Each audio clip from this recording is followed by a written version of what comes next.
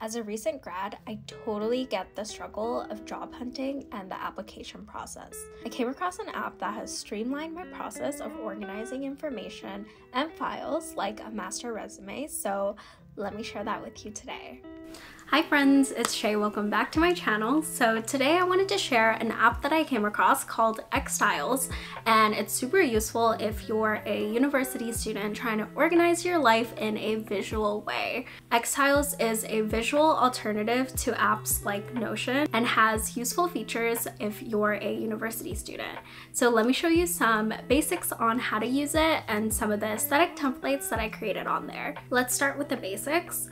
This is what the layout of each document looks like. Each one of these sets of pages is called a document and you can think of a document like a notebook where you can change the cover and the icon image for every single one. The basic action you can take on each page is to create a tile.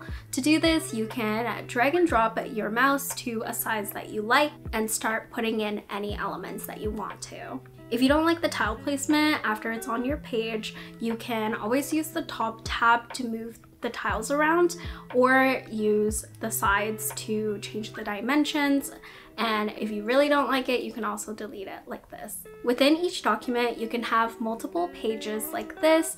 I have four tabs as you can see, but if you're in university, you're able to just keep one document and have multiple pages for different classes or different areas of your life and it's great to have it all in one place. Within each tile you can either use the templates that come with it or you can create your own. Here are all the elements that you can access using the forward slash and you can change the color and the style of each one of the tiles by clicking the three buttons on the corner and selecting whichever one you like best.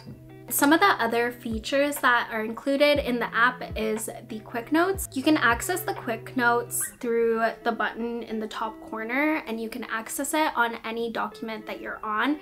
This is a great place to house any temporary files. So if you have a really brilliant thought that you need to jot down or something that you don't know where to place yet, you can leave there. And you can drop any tile from any board into the quick notes. So it's a good way to reorganize any of the work between documents, between pages so you don't have to worry about recreating anything on each page. Another feature that's great about Xtiles is the Google Chrome extension.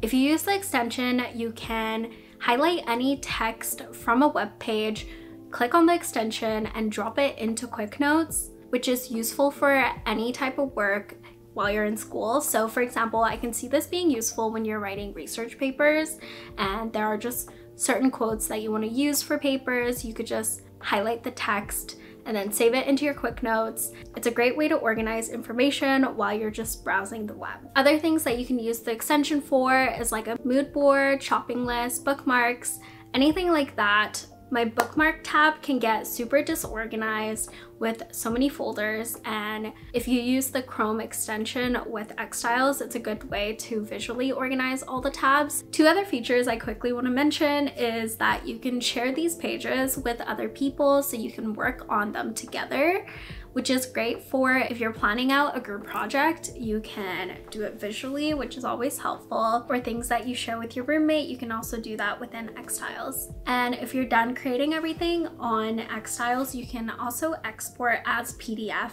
or PNG. So let me show you how you can make these three templates, a planner, a semester overview, and a habit tracker within Xtiles. You can always slow down this section of the video if you want to completely copy what I'm doing, but I am creating a bunch of different tiles.